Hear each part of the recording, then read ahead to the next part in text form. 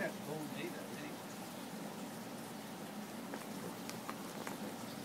bone and they fill it with some